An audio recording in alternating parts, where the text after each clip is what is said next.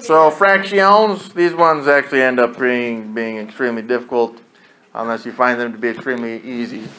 So, what we can do on these, and this is the nice thing about fractions, is we still do have a fraction, but we get to take the square root of the numerator and the square root of the denominator.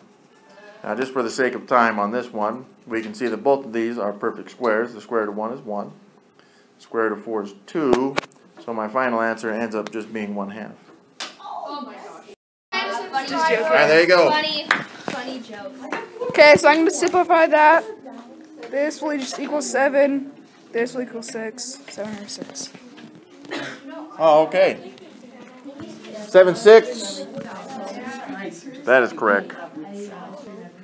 Collaborations.